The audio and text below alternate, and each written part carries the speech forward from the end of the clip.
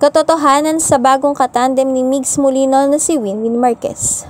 Halina't panoorin ng buong detalye and of course don't forget to like, share, and subscribe and hit the notification bell for more latest showbiz news update.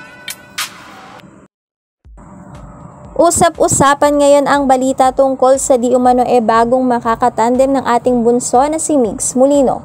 Ngayon nga kasing wala na si Mahal ay may ilang napapaisip kung sino nga ba ang bagong papalit na makakasama lagi ni Migs Molino sa kanyang mga vlogs at sa kanyang mga darating na project sa telebisyon.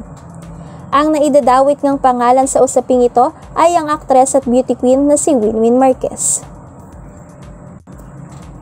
Di naman maitatago sa lahat na close noon pa man si Winwin kay Migs Molino at kay Mahal Tesorero.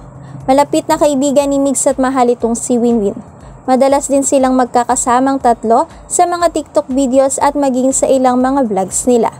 Kaya naman ayon sa kumakalat na impormasyon ay ang aktres nga ang papalit kay Mahal bilang katandem ni Bunso Mix Molino. Huwag gaano nga ba ito katotoo?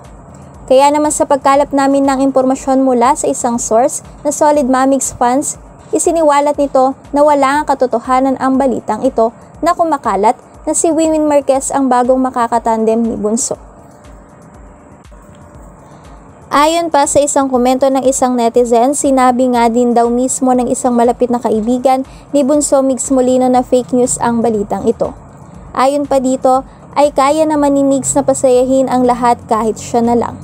Baka kasi mas mahirapan pa si Bunso kung ipapareha pa ito sa ibang babae, gayong si Mahal lang ang nakasanayan nitong kasakasama. Sinang-ayunan naman ito ng Solid Mamigs fans at sinabing kahit mag-isa lang si Bunso ay patuloy pa rin nilang susuportahan ang binata. Isa pa ay wala nga rin silang nakikitang makakapantay o makakapalit kay Mahal bilang kapartner ni Bunso. Para sa mga fans ng dalawa, mananatiling solid ang kanilang pagsuporta sa Mamigs couple kahit pa wala na si Mahal at tanging si Bunso Mix Molino na lang ang magpapatuloy nito.